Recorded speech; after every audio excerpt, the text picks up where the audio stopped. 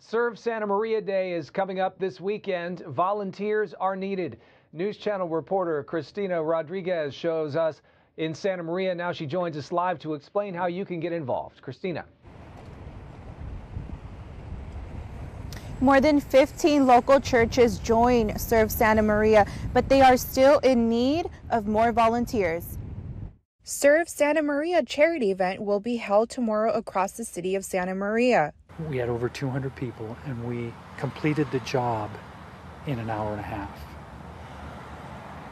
I think everyone was blown away. I was blown away. Over the years, volunteers have helped clean and rebuild the community. At Miller, we're literally going to color their playground. The tetherball, the foursquare, the hopscotch is all going to turn into color. To, so to colorize a playground, children are going to have a wonderful place to recreate and play when they come to school on Monday. The event is known for the colorful United States maps, paintings that volunteers have left on playgrounds across town. Actually sending a group back to paint underneath the bridge again. I think every few years the city feels like we should take back that territory.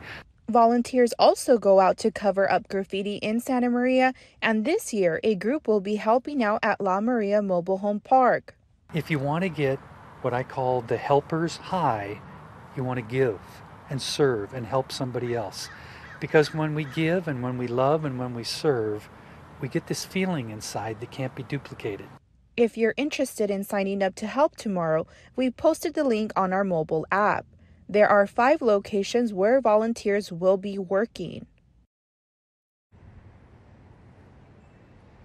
Volunteers can arrive at their project locations at 9 a.m. Live in Santa Maria, I'm News Channel reporter Christina Rodriguez. Christina, thanks very much.